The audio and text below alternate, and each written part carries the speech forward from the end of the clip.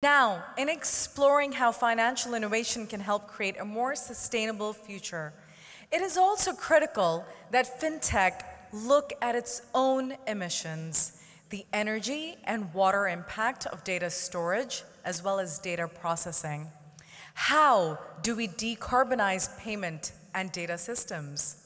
To find out, let's please welcome on stage Humza Samad, who's project lead leader, payments and Web3 at Boston Consulting Group. Hello, everyone. Really pleased to be here today. We're here to discuss the decarbonization of payment and data systems. You may be forgiven for perhaps not appreciating actually the significant contribution this is having in the broader discussion around decarbonization, uh, impact on carbon, power consumption. But the area of payments is fascinating, right? Um, all of us are retail consumers. Uh, the penetration of digital payments is impacting our daily lives. And we see year by year in the UK and globally, um, digital payment methods are increasing. So we're going to look at the impact this is having under the hood, right? This ecosystem is powered by infrastructure that enables digital payments. There are vast implications on data storage, on cooling, on power, and so on. We have a great panel here to discuss some of the key issues. Um, we'll do some introductions, and then we'll focus on some of the key issues and, and hear hopefully a multifaceted um, perspectives on, on some of the key areas here. So, Simon, would you like to start? Yeah, thank you. Um, Simon Rendall. I'm, I'm, not actually the uh, product manager for electronic payments in Lloyds Banking Group. Uh, I had to pay business architect's function, but I do look after payments. Uh, I'm Emma Kisby. I am the CEO for EMEA of Kogo. Uh, we translate payment information and we match it with emissions factor to create personalised carbon footprints for individuals and small businesses. Uh, I'm Alex Craven. I'm one of the founders of a company called The Data City. We map the emerging economy, um, both for the financial services sector um, and for the government. Great, thank you. And I'm Humza Samad, uh, project leader, Boston Consulting Group, focus heavily on payments and areas around technology and fintech more broadly. It's great that we have a kind of varied set of perspectives here. Let's just set the scene somewhat, right? And then we can get your kind of specific takes here. When we think about payments in the UK, just looking at retail, we hit 1.2 trillion in payment value last year. And as I was alluding to earlier, right, under the hood, there is a vast network of infrastructure, of PSPs, of card networks, of financial institutions, providing the pipes, the rails to, to ensure that our payments get to where they need to get. Because the penetration of digital payments has been so high over the last couple of years, power consumption, the carbon impact of that is, is not often such a well studied area relative to areas like airlines and car manufacturing elsewhere. To shine a light on some of the key issues, our panelists will provide a perspective both from a, I think, consumer perspective. How does this affect all of us? What are the kind of actions we can take on a day-to-day -day basis? From a kind of business, infrastructure, government perspective, how can we structurally try to address this uh, problem before it potentially becomes uh, even broader. And also from a, a, financial institutions perspective as well, right? Serving businesses and customers, and also looking at the impact of their own emissions. How do we kind of address that? Emma, I'd, I'd love to start with you and get your view on, from a consumer perspective, why does this matter? And practically, what can consumers start to do and evaluate in their kind of everyday lives? Yeah, thanks, Humza. Um, there's been a kind of running theme throughout today around the kind of need for macroeconomic shift, and consumers play a massive part of that. You know, the latest IPCC report actually states that 70% of greenhouse gases are linked to household consumption. But the challenge is, quite simply, there's an intention and action gap. And individuals just don't know. It's bloody complicated, right? And you don't necessarily think about the impact of your everyday spend. And the question we hear is actually, does it make a difference what I'm spending on? There's a really interesting data point that came out of the pandemic. One, I can't homeschool, and it was very traumatic. But the other thing was, for the first year of the pandemic, when we all stopped and stopped spending, global emissions went down by 7%. So we can have a collective impact. And the problem again with that intention action game is how do you keep that front of mind? And that's where the payment data is so powerful. So we match emission factors with payment information, and we create personalized carbon footprint trackers. And We've done that as a fintech business, but we realized to create scale and impact, we need to collaborate with banks. So we work with 20 banks worldwide, And we surface this through their mobile banking experience. So banks like NatWest, who have a reach of 8 million customers, and ING, who have a reach of 5 million customers. And we help people really understand the impact of their spend, see their carbon hotspots, if you like, and then give them personalized climate action plans to help them reduce, and then give them feedback to show both the carbon savings and also the cost savings that they can achieve. That, that's really interesting. And you know, over the last two to three years, I mean, this issue has really gained ascendancy, right, on the consumer side, on the business side. I mean, how have you, in your experience, noticed the kind of traction in the market as well as with consumers? Yeah, I think when we kind of started approaching, especially banks four years ago, yeah. it was kind of a nice to see, you know, that kind of ESG off the side of the desk kind of thing. But actually what, what we're seeing, and even we were working recently with ING, they said that they've actually seen a lot of their, their customers, especially a younger cohort, actually saying, look, we're going to leave the bank unless we really see genuine ESG action. Now, we sometimes get criticized for working with the banks because it's like, well, hang on, aren't they the ones causing the problems? But actually, by creating this carbon tracker and actually driving engagement, we can provide really useful data and insights to the banks to signal that people are really engaged. And a while back, so we've grown a lot since then, NatWest published that we've got half a million customers engaging with the carbon footprint tracker. That's grown significantly. I can't disclose, but but there's a lot more appetite and a real need because people are getting a bit desperate because it's, it's not looking great.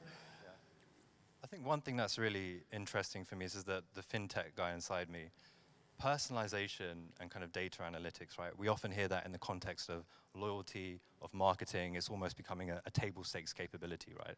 I think it's really fascinating that you are kind of taking that same technology, but deploying it within a kind of green decarbonization context. I mean, can you talk just a little bit around the capabilities that you need to kind of enable that, that kind of carbon uh, tracking technology? Yeah, so quite a while ago, I helped set up a business for a big UK grocer, and it was using data and behavioural science to drive about 100 million to their bottom line. It, it's bloody powerful, right? We, we're all very influenceable, uh, me included. Things pop up, you know, you get served these amazing deals you can't help but buy. We got very good at getting people to buy more stuff. Actually, we can use all those techniques, the behavioural science, the algorithm, propensity models, to actually help people to be more sustainable and more conscious in their consumption. That's proven. We can see that. We can see that in big online retailers like Amazon. They're popping up all the time. Actually, we just need to shift that and use exactly those techniques to actually influence consumer behavior too, me included. That's fascinating. It's like deploying loyalty capabilities almost in a in different contexts. Awesome. Alex, I'd, I'd love to, to go to you next, right? I think in your work, you're able to provide a, a kind of a, an interesting structural view of um, you know, the system from a broader perspective um, the implications on, on data storage, for example. Can you, can you help us understand how bad is it? Yeah, so I brought a few stats in preparation for this, uh, but I wanted to make sure I get them right. So uh, UK data centres account for about 3.7%, um, sorry, global data centres account for 3.7% of CO2 emissions, but wow. the UK is ahead of the curve with about 9% and they, account, they consume about 20% of all energy generation. So that's, that's a lot, right? It's a very high proportion. Um, it's forecast to exceed 14% of global emissions by 2040. And the sort of, the, the way I came into that world was we did a work, piece of work mapping the net zero economy as like a supply chain. Sure. And um, looking at energy generation through to storage, um, and then submitting tenders to larger institutions, the government, and having to write our own commitments to net zero. Yep. And that leads you into this sort of space where, you, you know, we're a fintech, govtech company. You, you think you're quite carbon light. And I think sort of it's a bit out of sight, out of mind. The factory is in a data center somewhere. Yeah, yeah, yeah. And, um, and then we actually looked at the carbon in, uh, you know, our actual carbon footprint in the data center. And we're relatively light you know, transactionally. We have very large storage, but um, the sort of transactional compute overhead sometimes is extreme, but not constantly always on. If you think about some of the data centers around here and what they're doing, the, the energy consumption and the CO2 um, impact of those is really significant. Okay, so then, I, can I just ask on. you on that? I mean, what what are the two, three kind of big drivers of that very significant kind of emission level, right? Because yeah. you have the need for cooling in yeah. a big way, right? So, so the explosion of AI has driven compute. Yeah. So, and that drives a huge energy consumption and a huge heat output. So you've got um, Microsoft are experimenting with putting data centers in containers at the bottom of the sea. Um, I don't know if you've seen, there's been an announcement uh, this week where they've actually announced they're going to build their own nuclear reactors and to power their data centers to cope with the AI application um, requirements. So there's a lot of, and then when you think about what that means, so if we're, if we're serious about meeting net zero, what we need to do is decarbonize our, our data centers. We've got to deal with the heat and we've got to deal with the energy consumption. And actually that's, you know, no one's going to build a nuclear power plant here. So infrastructurally, you've got to think like, what does the proximity of the power generation to the data center look like?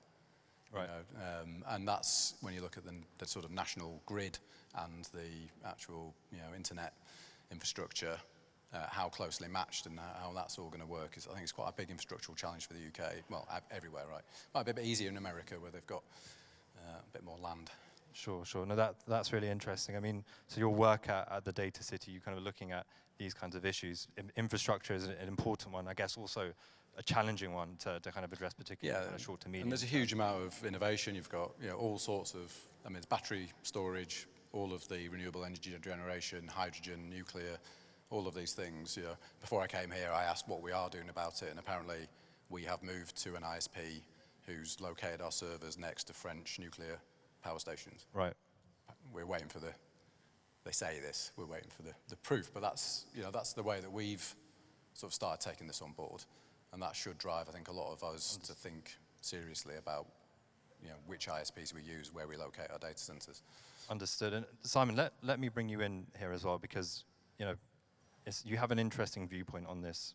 You know, from a kind of financial institution perspective, I guess there's a kind of a dual perspective. One is, you know, just the sheer scale of the organization, you know, consciousness of your own emissions and kind of uh, impact there. But also, I mean, you're serving, you know, one of the biggest banks in the UK. Um, you're serving a broad swathe of consumers, of businesses, right? Um, you know, how do you start to think about the, the bank's role, both from a kind of consumer and business customer perspective, but also looking at your own, you know, business infrastructure, payment systems? Okay, so I- I, think if you think about how we help our customers understand their carbon footprint, um, Emma's, Emma's actually covered it really well for, for the consumer book. So a lot of that is about, in the UK, it's mainly about understanding what people are spending money on, and that's mainly about understanding uh, debit card transactions, Yep.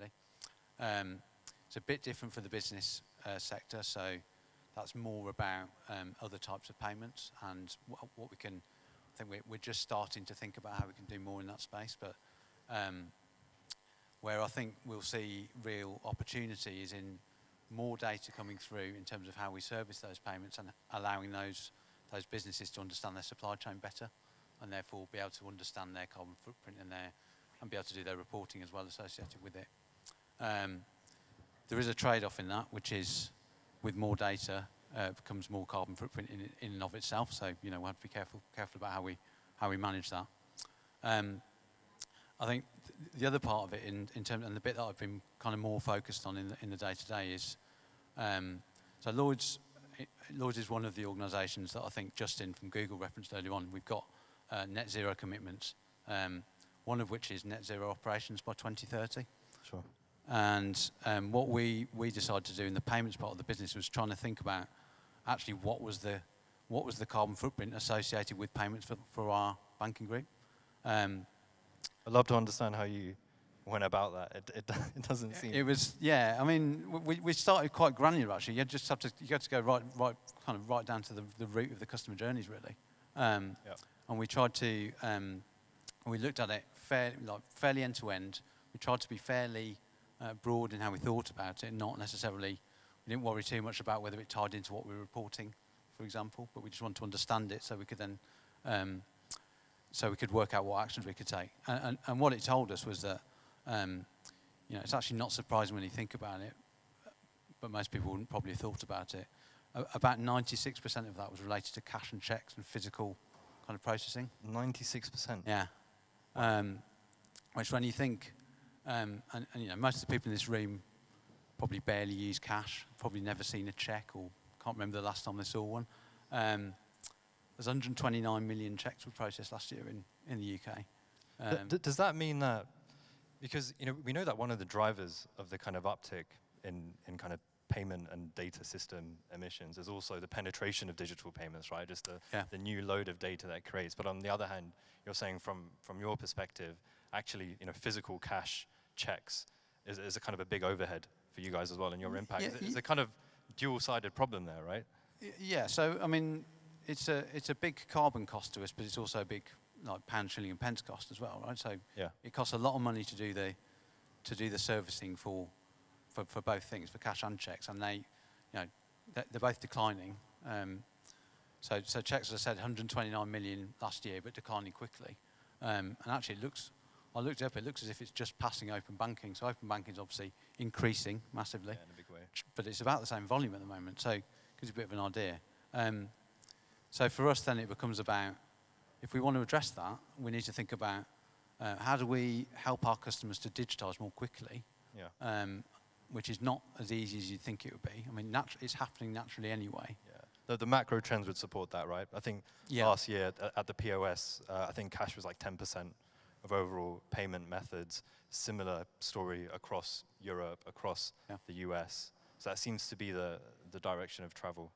Yeah, that's right. So we're, we, you know, it's kind of pushing an open door, but we still have a, you know, if you think of ESG in its broadest sense, the customers who are who, who have most difficulty using digital payments are you know, the most vul- vulnerable customers and the most vulnerable people in society. So we have to think very carefully about that. Um, and also, what we're looking at is how can we you know, address aspects of the physical journey and digitise some of that. So can we, um, you know, can we make better use of imaging all the way across checks, for example? Can we, um, is there anything we can do to reduce the number of journeys that we do to pick up and drop cash in big armoured cars? Yeah, it it would be good to get to get your guys' views, views on that as well, right? Because we're seeing a, a big rise in obviously mobile channels, digital wallets in a big way, super apps that can kind of do everything, right? Um, how how important do you think that will, you know, the role that will play kind of in the future to kind of reach the customer and grow consciousness? We had a real experience of this. We got paid by a local authority by a cheque last week. Right. And, and our bank wouldn't allow us to digitally scan the cheque to pay it in. So we had to go and physically to the bank for the first time ever. Uh, Who'd you bank cheque with? in. It was Barclays. No, so it's safe. Yeah. Um, so it's not just the digitally excluded. We've, we've got large, it's a very large council, it's one of the largest in the UK that paid us, so presumably they're paying all their suppliers that way.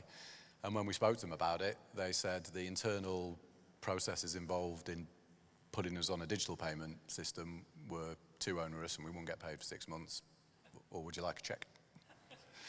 so there's some institutional level stuff Yeah, to do, I think. yeah, but at the least, if we could have scanned it and uploaded it, that would have been half the journey, right? Yeah. But yeah. Awesome. So, so I guess I think time is against us. Just to kind of start start wrapping up, right, from our various kind of vantage points, kind of introduce you guys all to kind of give your kind of you know two, three kind of takeaways from your perspectives. S- Simon, do you want to kick off? Uh, yeah, so I, I think how do we decarbonise? Well, I, I think we've talked about helping our customers understand their their impact on the world um, is really really important as part of that, and, and is key to that. It's how we manage that and how we surface it in, in the way that can really help. Thanks. And Emma, from your perspective? Well, Simon, I'd furiously agree, clearly. I think the power of digital payments is the fact it brings greater transparency to the impact of people's spend. And I think what's interesting as more and more businesses are forced to report, then we see more and more transparency in the supply chain and people can get more clarity on where their spend's going. So it's absolutely critical that we really all have an understanding of the impact of our everyday spend and become more conscious on the way we consume. Thank you, and Alex. I would uh, proactively procure your data center provider on the basis of their um, adoption of green energy to power their, uh, you know, and there's find those data providers that are first movers into this space because there's quite a lot of interesting innovation going on there. Use your money to actually, you know, let the market drive it. Awesome. Well, let me thank you all for sharing your viewpoints today. Uh, appreciate your, your time and listening to us. Uh, I hope you have a awesome rest of the conference. Thank you.